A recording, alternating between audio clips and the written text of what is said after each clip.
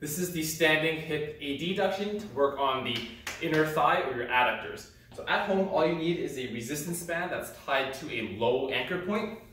What you're going to do is step into it, and the point of this exercise is to bring whichever leg that you're trying to work cross body.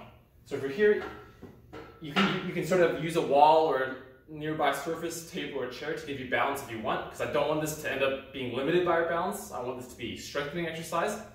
From here, the band's pulling me towards the chair, but I'm pulling that leg cross body, feeling that contraction in the inner thigh. Hold for a second, relax, pull cross body, upright posture, relax.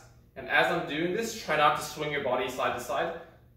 Maintain nice and upright.